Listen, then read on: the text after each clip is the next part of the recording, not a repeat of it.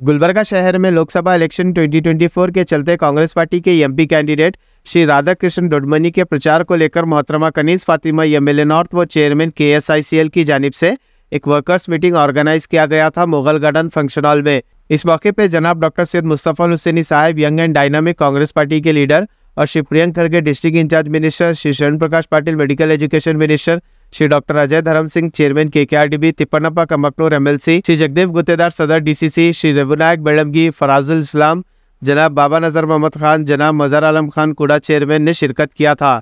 इस जलसे से जनाब मुस्तफ़ा हुसैनी साहब ने कहा कि श्री राधा कृष्ण काफ़ी पुराने कांग्रेस पार्टी के लीडर है और बैकबोन की तरह श्री मल्लिकार्जुन खड़गे जी के इलेक्शन में काम करके हर बार उनको जिता के लाए हैं। इसीलिए हम लोगों को भी काफ़ी कड़ी मेहनत करके श्री राधा कृष्ण को भारी अक्सरियात से जिता के लाना है। श्री प्रियंक खड़गे ने कहा कि मुझे जान से मारने की धमकी भरा लेटर मिला है। मैं डरने वाला नहीं हूँ। ऐसे और कितने धमकी मिलने दो? और कहा कि ये बीजेपी की हुकूमत सिर्फ़ हिंदू और मुस्लिम के बीच झगड़े लगाने के काम करती आ रही है। हमारी हुकूमत आवाम के लिए काम करती है। जैसे कि आवाम को पाँच गारंटी स्कीम्स दिया है। हमको भरोसा है कि आवाम चिंचोली के एमपी उमेश यादव को बाहर कर देगी। और राधा कृष्ण को जिता के लाएँगे, कहा प्रियंक खड़गे ने। और सारी आवाम का शुक्रिया अदा किया। कहा कि रमज़ान जैसे महीने में आप लोग रोज़ा रह के भी इस जलसे में शिरकत करके इस जलसे को कामयाब किया है, कहा प्रियंक खरगे ने। इस मौके पर कांग्रेस पार्टी के सीनियर लीडर्स, कॉरपोरेटर्स, वर्कर्स मौजूद थे।